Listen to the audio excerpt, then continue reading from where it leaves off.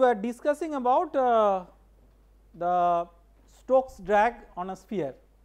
So, uh, the manner in which we proceeded is we first tried to develop a governing equation in terms of the Stokes stream function and we obtain the solution of the governing equation to get the value of the Stokes stream function. So, if you look into uh, this slide it gives you an expression for the Stokes stream function.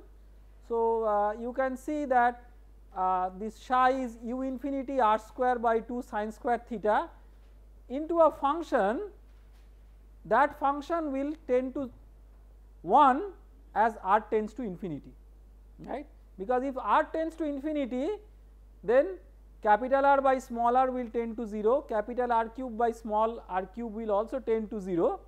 So, this psi will tend to u infinity r square by 2 sine square theta. So, that is the uh, expression up to which we derived in the previous lecture. We will take it up from there. Now, the next step is once you know what is the value of psi you next calculate what is Vr and then you calculate what is V theta. So, Vr is 1 by r square sine theta del psi del theta. So, let us see how you calculate Vr it is relatively it is quite straightforward, but just in case you want to get familiar with how to calculate Vr 1 by r square sine theta del psi del theta. So, that is 1 by r square sine theta into u infinity r square by 2 2 sine theta cos theta into that function which tends to 1 as r tends to infinity. So, 1 minus 3 by 2 capital R by small r plus r cube by 2 r cube.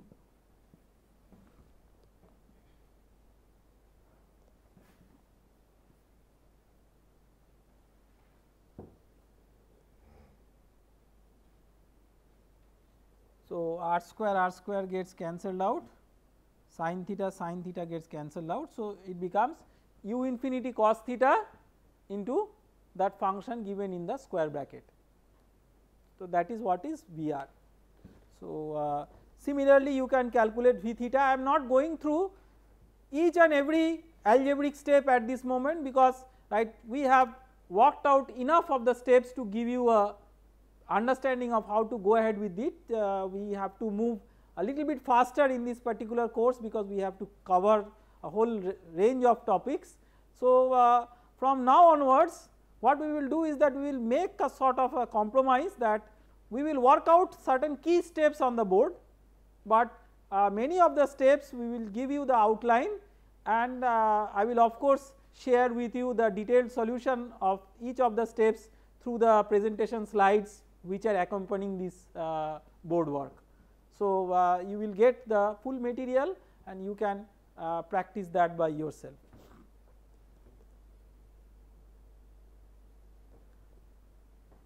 So, then uh, you can calculate uh, V theta is equal to minus 1 by r sine theta del psi del r.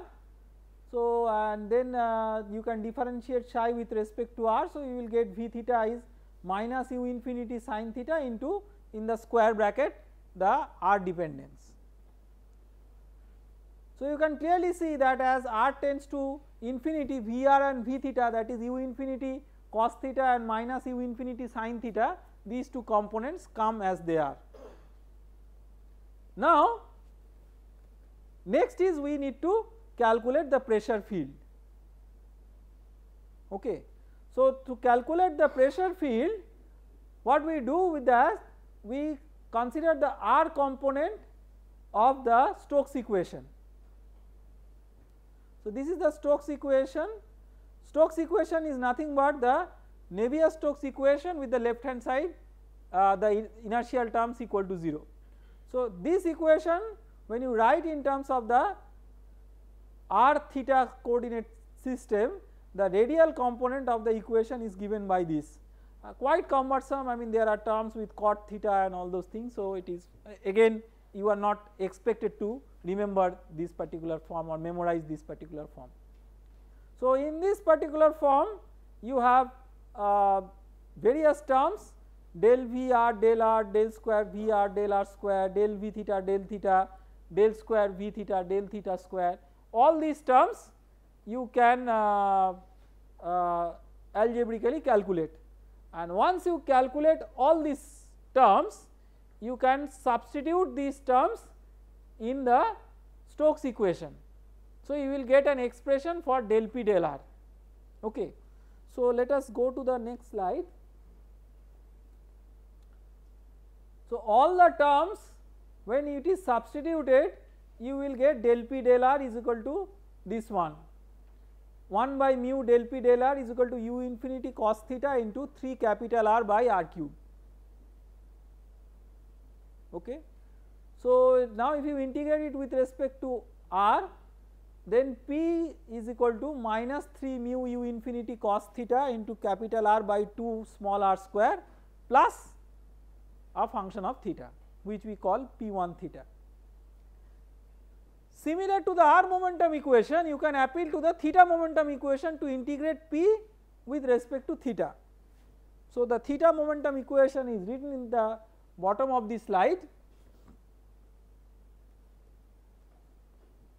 So, you have del p del theta and then you can integrate this with respect to theta so that you get a constant of integration which is a function of r. So, now if you see if you if you see the two forms of p one by integrating the r momentum equation another by integrating the theta momentum equation your observation is that that p is equal to minus 3 mu u infinity r cos theta by 2 small r square plus a constant. Now how do you calculate this constant? You know that at r tends to infinity p tends to p infinity right which is the ambient pressure that as you go to infinite distance from the center of the sphere you come to the ambient condition that means C equal to P infinity. So, P equal to P infinity minus 3 mu u infinity capital R cos theta by 2 r square. Okay. So, what fields we have obtained? We have obtained the velocity field, we have obtained the pressure field. Now, to calculate the force we also need to calculate the viscous stresses. So, to calculate the viscous stresses the this tau rr and tau r theta are the viscous stresses. So, tau rr is 2 mu del Vr del r. So, if you once you know Vr it is a matter of differentiating with respect to Vr with respect to r to get this particular expression okay. Tau r theta this is the shear stress tau rr is the viscous normal stress and tau r theta is the viscous shear stress okay. So now you can calculate this tau rr and tau r theta on the top of that you have the pressure distribution. So these are the important stresses which are acting on the system. Now to understand that how to calculate the drag force we will refer to this figure and I will redraw it in the board because it requires certain explanation of right how to calculate the forces. That is one of the fundamental things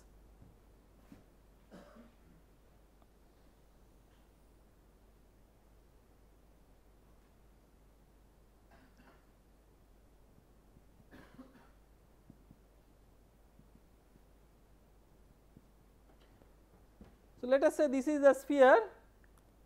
Now, what you do is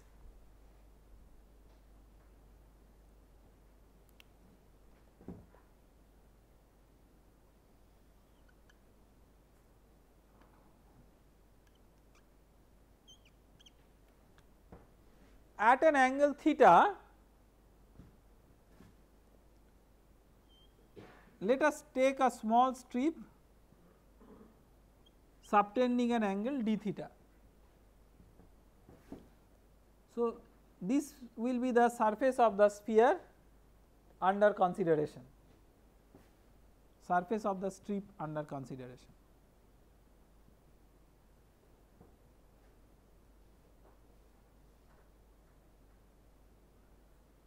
So, what is the surface area of this?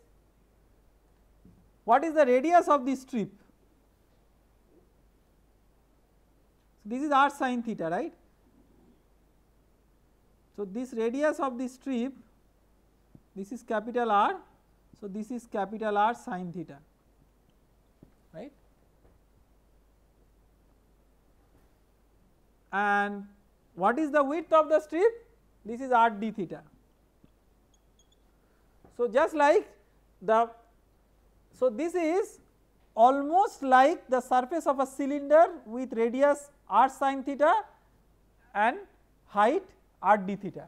So, it is 2 pi r sin theta into r d theta that is the surface area of this small strip. So, 2 pi r sin theta into r d theta. Now, this is area and the force per unit area. So, this is tau r r right and uh, this is the viscous normal stress then the hydrostatic stress is minus p. So, this into this area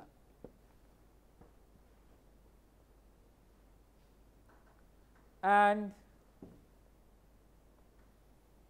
the shear stress is tau r theta times the area. Now the drag force is what? Drag force is basically if you have the relative velocity direction, what is the relative velocity direction? Let us say this horizontal direction. So the resultant of all these forces in that relative velocity direction. So, the plus or minus depends on whether you are considering force exerted by the fluid on the sphere or force exerted by the sphere on the fluid. So, that accordingly plus or minus sign will change, but I mean uh, you can calculate with a proper sign. So, tau r r minus p this will come with what cos theta right and minus tau r theta sin theta that multiplied by this area then integral of that. This evaluated at what r? Small r is equal to capital R evaluated on the surface of the sphere that is very very important. Okay. So, with this background let us get into the next slide which will sum up the calculations. So, what is done in this slide is what we have written in the board just the opposite sign of that is written okay that gives the magnitude of the drag force okay so uh, because we are interested in the magnitude of the drag force otherwise it will be, be oriented in the opposite direction of the flow so just to get the magnitude of the drag force we are just reverting the sign. So, one thing one very interesting thing is that tau r r at small r is equal to capital R is equal to 0. I mean whatever is the expression for tau r r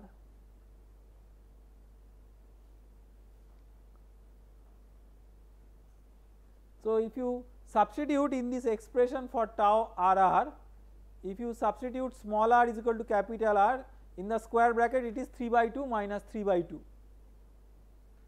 okay. So on the surface of the sphere there is no normal viscous stress okay. So many times see uh, as we see in many cases uh, sometimes ignorance is a blessing in disguise. So if you do not even take tau RR in your calculation you will come up with the same final answer and that will actually reduce your effort because you calculate tau RR you calculate the value of tau RR at small r is equal to capital R and then you figure out that it is 0 there is a physics that is there because of which on the solid surface it is 0. But if you are ignorant about the contribution of tau RR completely and think that only the pressure will contribute to the normal stress still you will come up with the same answer. But you have to keep in mind that the normal stress can also be of viscous nature. Normal stress is not just due to pressure. Okay. So now uh, you calculate tau r theta at small r is equal to capital R and then you calculate the elemental drag force and integrate it from theta equal to 0 to theta equal to pi to get the total drag force. So when you calculate the total drag force you will see that there is one term which comes sine square theta and cos square theta the nice identity sine square theta plus cos square theta equal to 1 can be used. So uh, then uh, you will see that eventually when you are making this calculation you, you will get the contribution of this term mine uh, this uh, 3 mu u infinity by 2 r into 2 pi r square sine uh, 2 pi r square sine theta d theta integration. So that becomes uh, cos theta. So you will get uh, eventually 6 pi mu u infinity r which is the Stokes law. Okay. So, uh, like uh, sometimes the Stokes law is expressed in terms of the drag coefficient CD.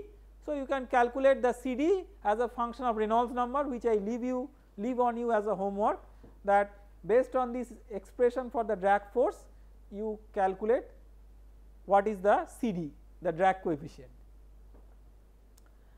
So, what are the assumptions under which we derived the Stokes law? We, we made an assumption that the inertial effects are negligible for low Reynolds number.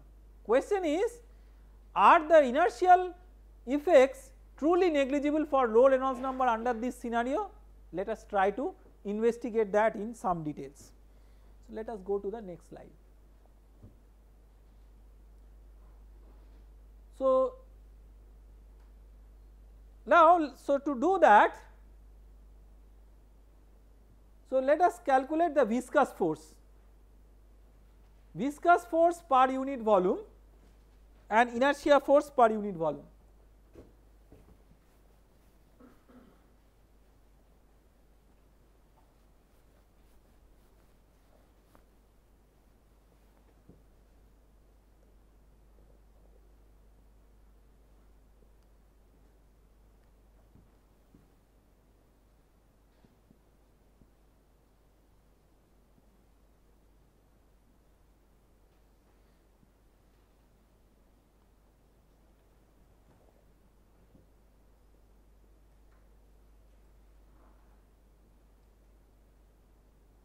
Viscous force per unit volume. So, it will let us say we take one representative term del tau r r del r. So, let us see what is the tau r r term. Let us move on to the slides. Let us uh, yeah, let us refer to the slides. Tau r r yes. So, tau RR scales with what? Tau RR scales with mu u infinity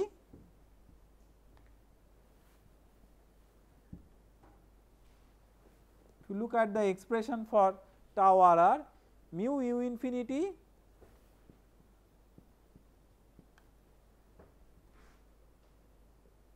that is the leading order forget about cos theta I mean cos theta can be of the order of 1. So, mu u infinity capital R by small r square. So, del tau r r del r this will scale with 1 by r mu u infinity r by r square. Okay.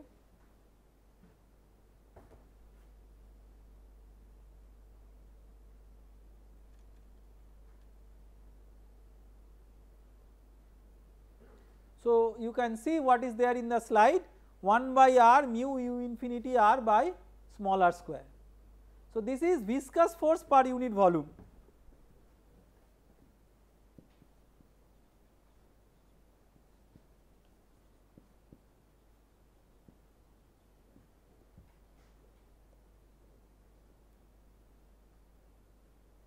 Now, inertia force per unit volume.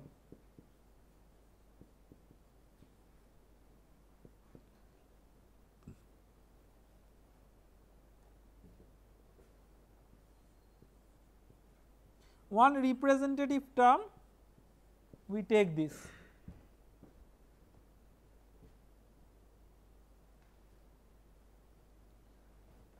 rho Vr into del V theta del R just one representative term one representative term in the inertia force. So, let us get to the Vr and V theta expression. So, rho Vr. So, Vr is of the order of what?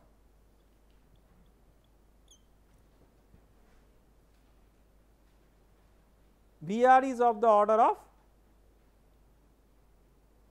u infinity because it is u infinity cos theta into 1 minus some function of r. So, the leading order term is u infinity cos theta therefore, Vr is of the order of u infinity and del v theta del r. So, we go to the next slide del v theta del r is what? So, you have v theta as if you look into the slide v theta is minus u infinity sine theta into a function of r. So, if you differentiate with respect to r the second term will come into the picture. So, it will become u infinity of the order of u infinity capital R by small r square 1 by r being differentiated will become 1 by r square. Okay. So, inertia force by viscous force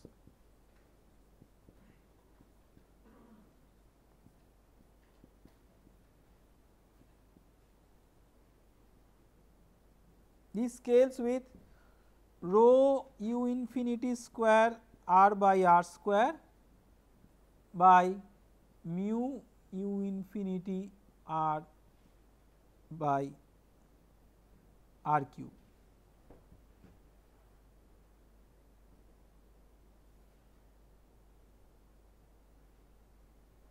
right inertia force by viscous force. So, what is this? rho u infinity r by mu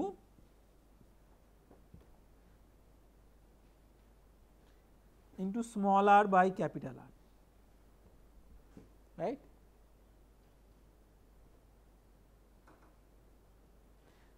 This is the Reynolds number based on the radius of the sphere normally we calculate the Reynolds number based on the diameter of the sphere.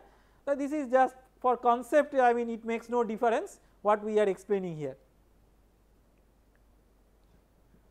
So, if you go to that slide where we are where we are calculating the inertia force by viscous force, see this is what is summed up. The inertia force by viscous force is equal to Reynolds number. Remember this is not the Reynolds number based on the diameter, but the Reynolds number based on the radius into small r by capital R. So, look at this inference. Despite the assumption that Reynolds number tends to 0, the inertia force may be large for large smaller by capital R, right. So, the Reynolds number may be say of the order of 1, but for large smaller by capital R the inertia force may be significantly large as compared to the viscous force, whereas the inertia force has been completely neglected in making the calculation.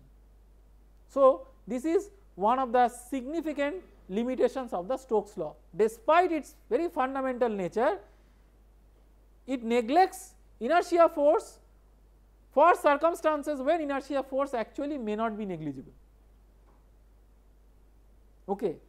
So, there have been various corrections to the Stokes law not just by considering this effect, but several other effects, but this being a fundamental course we will not get into all the details of like how the Stokes law has been corrected and all. Just one simple correction we do not have enough scope to derive this but this is called as Oseen's correction. A very uh, classical consideration in correcting the Stokes law and uh, that is like the Stokes law the Stokes drag modified by a multiplying factor 1 plus 3 by 8 Reynolds number.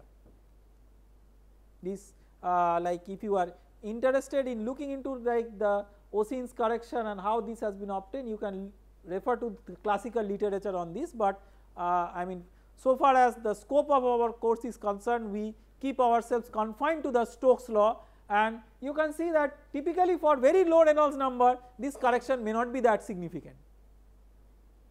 So, in microfluidics sometimes uh, most of the times we are considering flows where the Reynolds number is typically very low so that this correction may not be that important. But whenever this correction is important this has to be given due consideration. So, we sum up here the considerations of pressure driven flow not that uh, we are ending our discussions on pressure driven flow, but uh, we have discussed various cases of pressure driven flow. So, some advantages and disadvantages of pressure driven flow uh, uh, we need to discuss at this moment. So, the advantages the pressure driven flow why we have started with the pressure driven flow in microfluidics is because it is it gives one of the simplest form of flow actuation methodology in microfluidics.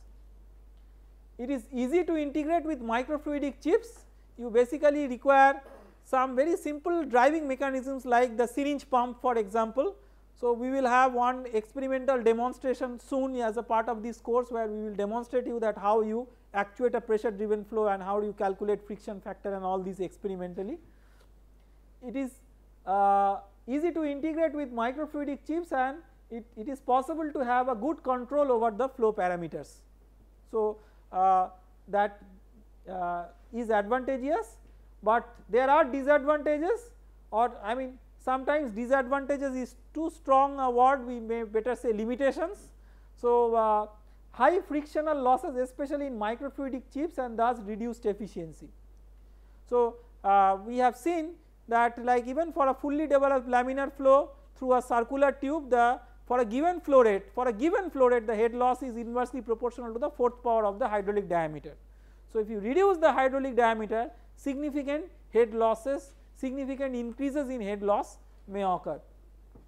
Poor reconfigurability and since this is a positive displacement pumping system even small blockages in the pathways can lead to severe damage of the system. So, uh, uh, I mean these are some of the effects uh, that are not so good for pressure driven flow. So, one has to look into other mechanisms I mean which are not uh, involving the movement of mechanical components or, uh, or uh, like for example there is no piston syringe type of movement which piston cylinder type of movement which is there or there are reduced frictional effects and th those can be integrated with a on chip environment in a much more convenient manner. So, there are several such possible types of flow actuation mechanisms and we will uh, learn those subsequently. Uh, regarding the science uh, to summarize pressure driven flows offer the most general flow driving mechanism in fluid mechanics. The system of equations for low Reynolds number hydrodynamics uh, in a system where x reference is much much larger as compared to y reference we have discussed about these systems of equations earlier and we have given analytical solutions of low Reynolds number flows for steady and unsteady conditions, oscillating wall and pulsating pressure gradient for simple geometries with simplifying assumptions. For, for more complex situations one has to go for numerical solution methods. Okay. So, uh, we uh, will now move on to another topic I mean which is not uh, low Reynolds number uh, uh, or which is not just restricted to pressure driven flow, but that can be used for uh, several other scenarios. So, uh, that particular topic is known as lubrication theory. So, uh, we will give you a brief introduction of what is the lubrication theory and why it is important. So, uh, to get a brief motivation uh, of the lubrication theory now uh, I mean this particular terminology has one theoretical foundation in association with one very practical consideration and that is why the name lubrication theory. So, the motivation of understanding this theory in engineering is far reaching I mean there are many possible applications, but one possible scenario that we consider that you know that in classical mechanical engineering applications you many times use bearings and these bearings are there to support a shaft. So, you have a shaft which is rotating and then you have a bearing to support the shaft. Now, if you just leave the gap between the shaft and the bearing as it is then there can be direct metal to metal contact and that can give rise to a lot of wear, tear and friction. So, to reduce the friction what you can do is you can put a lubricant which many times in industry is called as lube oil. So, a lubricating oil you can put in between the uh, shaft and the bearing. So, that will reduce the friction. So, the situation is that let us may, maybe uh, discuss the situation a bit in the board before we come on to the mathematical perspective.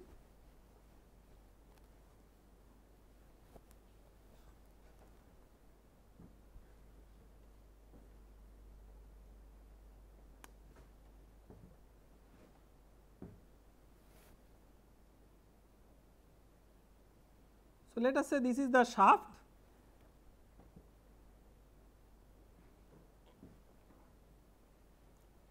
and let us say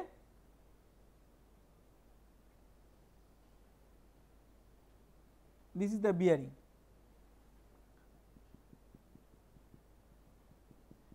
and there is a lubricating oil in between. Let us say that this shaft is rotating with a particular angular velocity in this particular direction whatever direction it is I mean it is not so important to understand the concept. So, you typically have and this gap is quite narrow. So, you have a narrow gap in which there is a viscous fluid and the two surfaces which are separating the fluid are having a relative motion one over the other.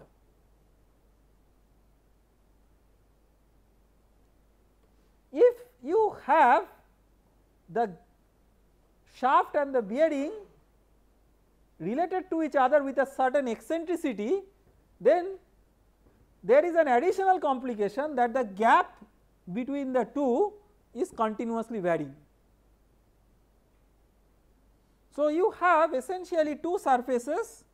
So if you think of an equivalent planar geometry, let us say you have a equivalent planar geometry. So you this is a kind of a bearing under rotating condition but you can also have a slider bearing. So uh, I mean you can think it in whatever way it is possible even for a rotary system a good approximation can be a translatory system provided that the gap is very small so that the curvature effect is neglected. So you can think of this situation as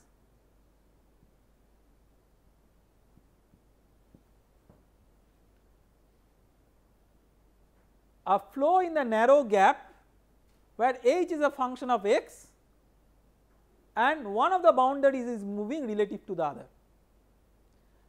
The low Reynolds number hydrodynamics that we have considered so far is little bit more simplistic as compared to this. So, the low Reynolds number hydrodynamics that we have considered for flow in a channel and all those things we have not considered one of the boundaries moving relative to the other in general maybe one or two examples we have considered but in in the classical case the Poiseuille flow or the Hagen-Poiseuille flow we have considered that like the boundaries are fixed. Not only that the flow passage is having a constant cross section it is the cross section is not changing. Now what about the situation when the flow passage is a function of x the flow passage is a function of x but it changes with x slowly it does not change with x rapidly this is number 1. So, h is a function of x although it is a slow variation not a rapid variation. Not only that you have a length scale along x. So, h slowly varies with x. So, h here or h here whatever let us say h here is h 0 H O H at this location. So you can take either of these or these or the average whatever as the characteristic length scale along the vertical because these are the variation along x is small. So H 0 let us say is the characteristic length scale along y and let us say if this is the x axis let us say that L C is the characteristic length scale along x. So, the second condition is that H 0 much much less than L C. See this is a condition that we already discussed about in details in our discussions on low Reynolds number hydrodynamics. We have considered that the y length scale is significantly less than the x length scale. But we have not considered any variation in the flow passage not only that we have not made a general discussion for the scenario when one of the boundaries is having a relative motion with respect to the other boundary. So when you take all these in purview the general theory that is developed for this is known as lubrication theory and the name lubrication theory comes from its applications in the context of bearings in tribology. Okay. So, with this uh, little bit of background we move on to the slide. So, the way in which we will move on to the move uh, ahead with this chapter is like we will in general go through the slides, but wherever more detailed derivations are need, needed I will go to the board and work out the in between steps which are there in the slides that is how we will proceed and these slides will be available to you anyway. So, you can uh, I mean you can go through the material uh, which is discussed using the slides. So, the basic idea is the analysis of flow when there are at least two length and velocity scales involved with the flow. Like for example, in the two dimensional case you have the two length scales H O and L C two distinctive length scales. If H O and L C are of the same order then you cannot consider that as a as something which is within the purview of lubrication theory because then they are not two different scales. You basically have to have two different scales, one scale significantly smaller than the other. One each of the velocity and length scales are much larger than the other therefore, there is a dominant length scale and a dominant direction of flow right. So, this is now very important then you would say that the same concepts apply in boundary layer theory as well right. If you are considering the boundary layer theory in boundary layer theory you have so let us uh, recollect what is boundary layer theory. So, you have let us say a flat plate and close to the wall there is a region where velocity gradients exist because of viscous effects. So, and outside that region you have inviscid flow. So, this is the outer stream and this is the inner stream which is uh, the boundary layer and this is like the edge of the boundary layer.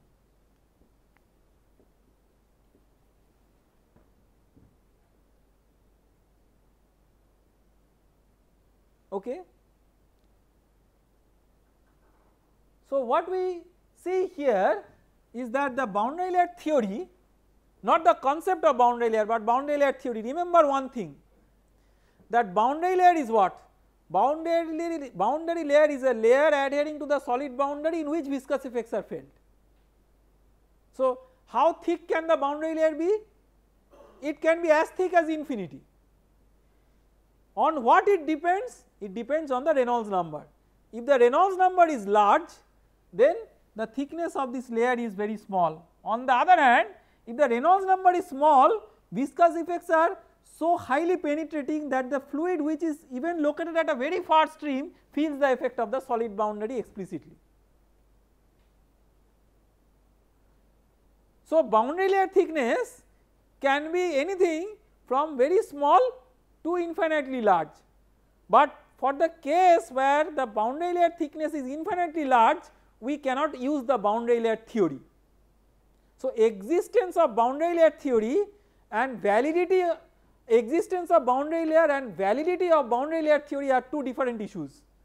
While boundary layer will exist for all viscous flows, boundary layer theory will not be valid for all viscous flows. It will be valid only for high Reynolds number flows provided there is no boundary layer separation. So, now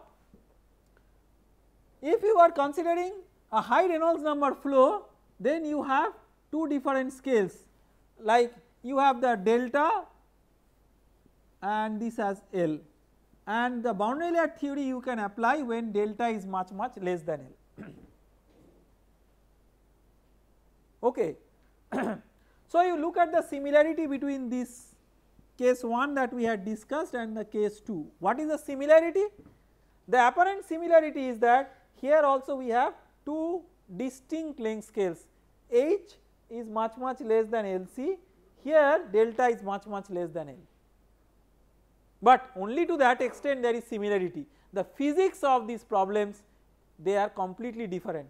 Typically these problems we are considering in the low Reynolds number regime whereas the boundary layer theory is applicable for high Reynolds number. So, uh, let us discuss briefly uh, what is the difference between boundary layer and lubrication flows the boundary layer theory. The boundary layer theory deals with a very thin region of flow near the solid boundaries where viscous stresses are large.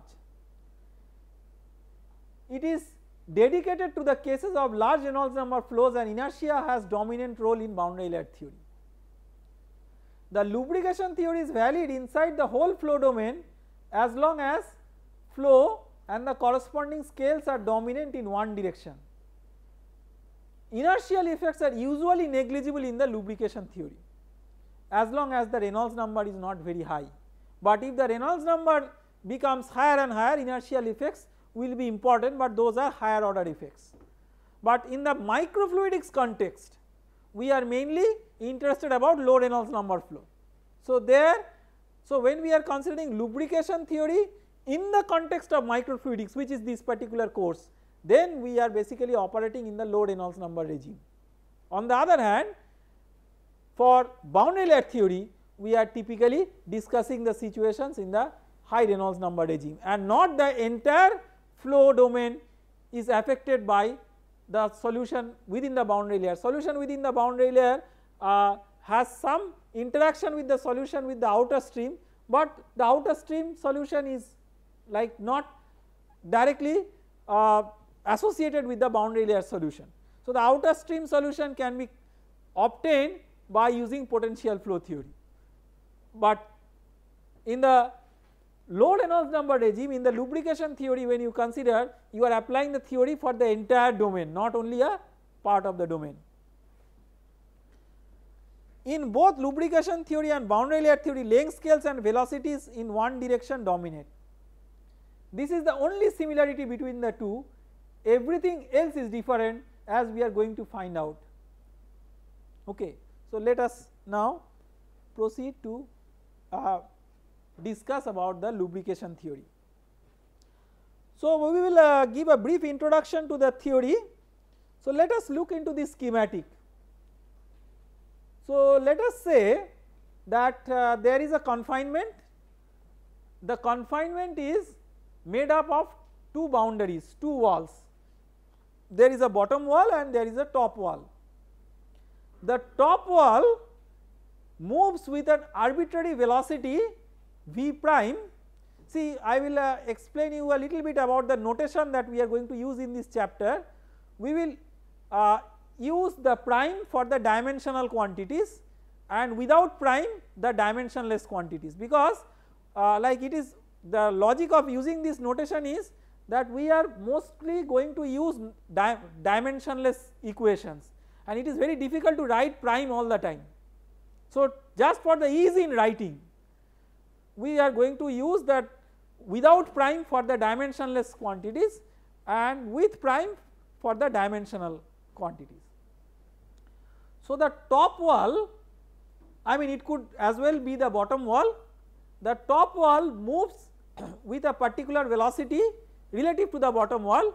So, this V prime this has components u prime tilde along x and v prime tilde along y okay these are the components of velocity of the top wall. So, in general the top wall may have a simultaneous motion along x and y. There are two important length scales as we discussed. So, the length scale along x is LC which is the characteristic length scale and length scale along y which is h naught uh, I mean this what is h naught and all we have discussed through a schematic uh, earlier and we consider that the ratio h naught by LC is much much less than 1.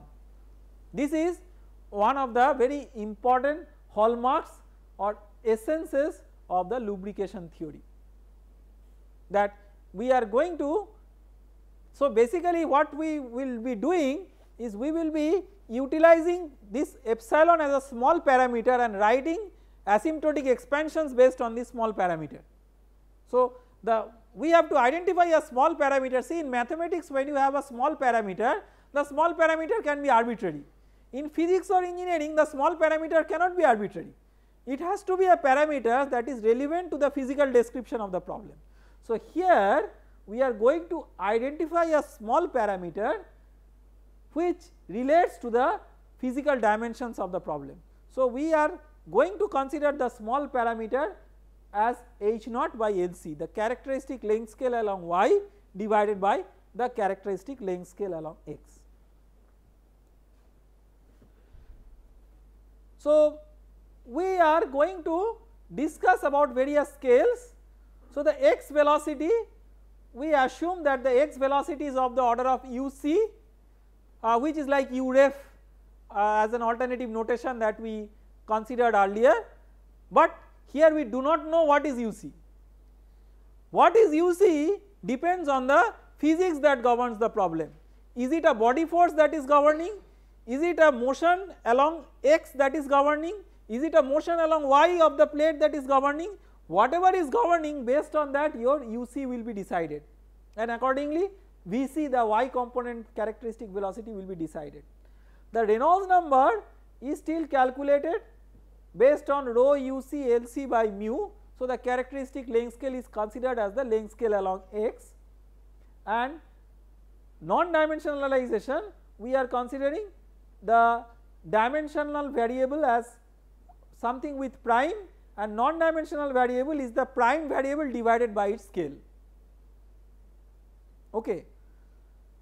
So, note that we have not yet specified the details of this velocity scale in the x direction.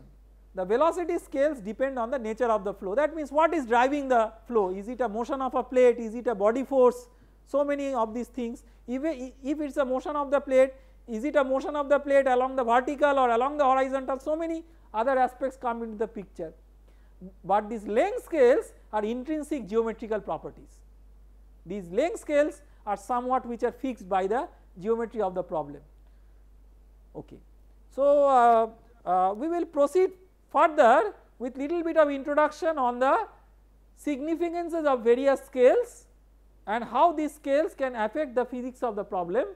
With this little bit of introduction we will stop here today and we will take it up uh, from here and we will enter into the more details of the lubrication theory from the next lecture onwards. Thank you very much.